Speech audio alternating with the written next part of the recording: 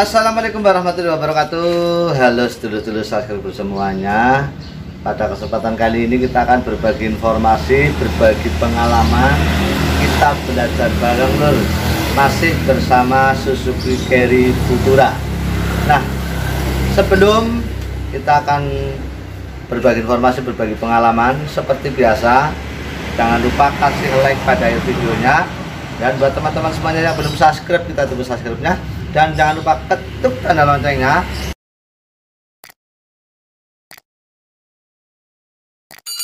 Sehingga nanti teman-teman akan mendapatkan notifikasi atau informasi pada saat kita mengunggah video yang baru. Dan jangan di skip ya lur. Biar nanti nggak gagal fokus lur. Oke lur. Pada kesempatan kali ini kita akan berbagi pengalaman, berbagi informasi cara mengganti karet wiper Suzuki Futura Nah, kita ketahui wiper ini penting tidaklah penting.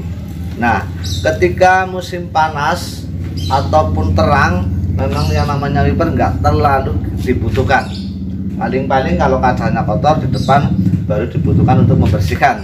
Namun ketika musim hujan, yang namanya wiper kalau tidak bekerja ataupun tidak berfungsi dengan baik itu sangat menjengkelkan dan melelahkan ya lur. Nah makanya sebelum uh, itu terjadi kita ganti wipernya sebelum musim hujan tiba ataupun sebelum masanya hujan.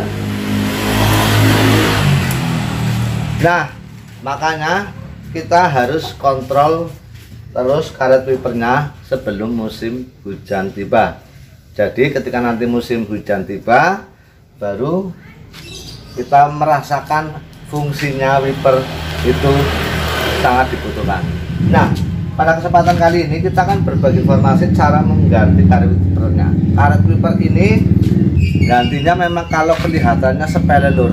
Tapi banyak teman-teman kita sedulur-sedulur kita yang belum tahu. Nah kita akan belajar bareng bagaimana cara menggantinya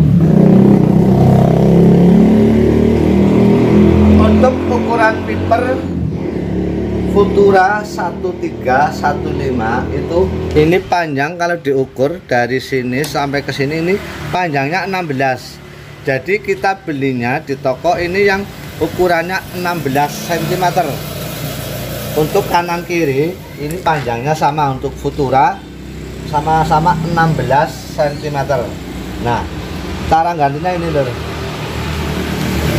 nah cara ngukurnya gini lur. Ini kalau nggak percaya 16 ini lur. Ini wiper yang baru. Nah di sini ada nah ini ada sentimeternya ya. Ini kalau diukur. Nah ini lur. Diukur. Ini panjangnya 16 cm lur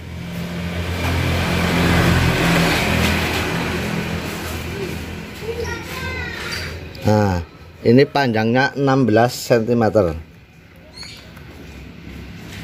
Nah, itu ya. Jadi untuk panjang atau ukuran karet wiper Suzuki Futura 13 ataupun 15 itu 16 cm. Nah, kita akan ganti karetnya. Begini cara gantinya, Lur. Sebelumnya kita lepaskan ini lur. Nah.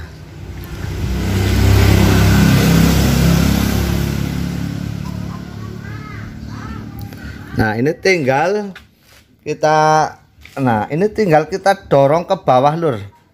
Nah tinggal kita dorong ke bawah. Ini kita ulangi lagi. Tinggal dorong ke bawah.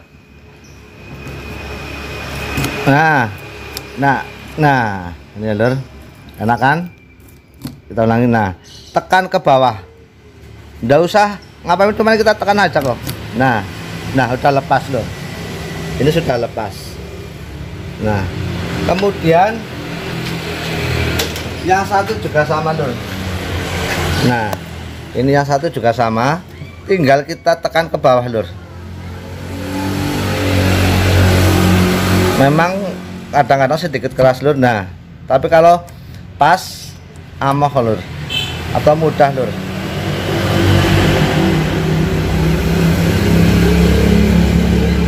Nah.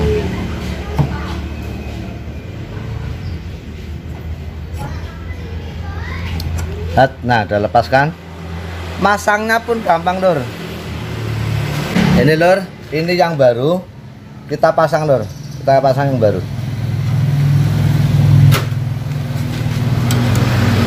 nah ini tinggal kita masukkan kono. Set. Nah set ini.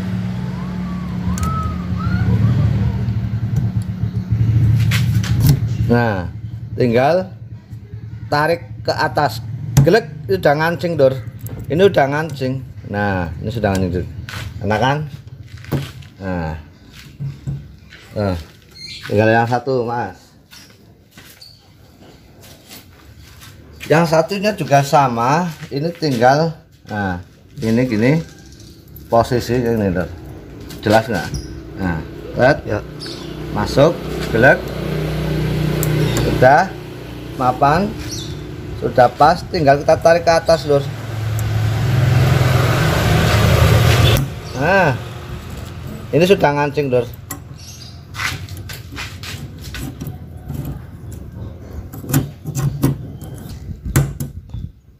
nah dah. Nah ini ngancing lur nah. Nah. Ya kan? Nah ketika melihat Vipers posisinya seperti ini lor ini kadang-kadang nah ini juga kita informasikan bagaimana cara menyetelnya ya lor nah ini kan posisinya kalau ini sudah pas lor tapi kalau yang ini ini nanti kalau pas Vipersnya hidup dia akan ke bawah dia akan ke bawah. Nah ini harus disetel juga. Caranya gampang lor nyetelnya lor nah ini baut 12 lor ini kunci 12 ini 12 ini kunci 12 nah kita mau kunci 12 kita kendorkan dulu kita kendorkan. Kemudian kita tarik lur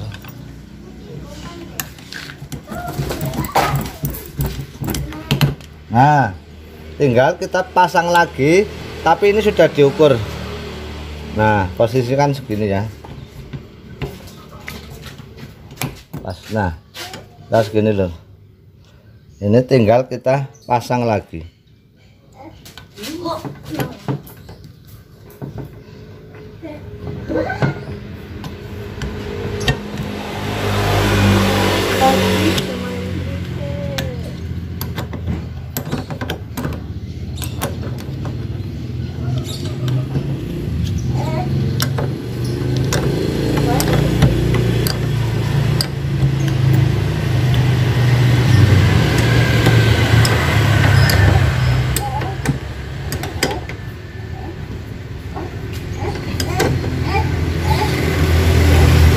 nah sudah rapi posisinya sudah sama.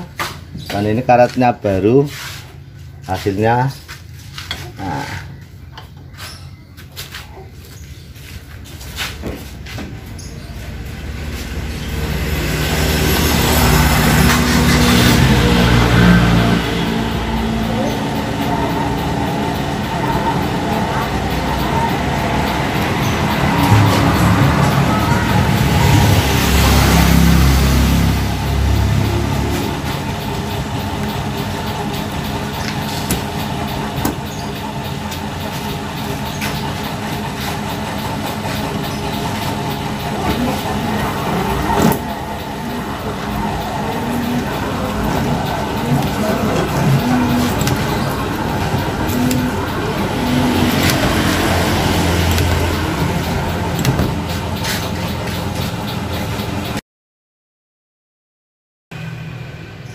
Lur, begitulah cara mengganti karet wiper pada Suzuki Futura ataupun Suzuki Carry 10 ataupun pada mobil yang lainnya sebenarnya sama.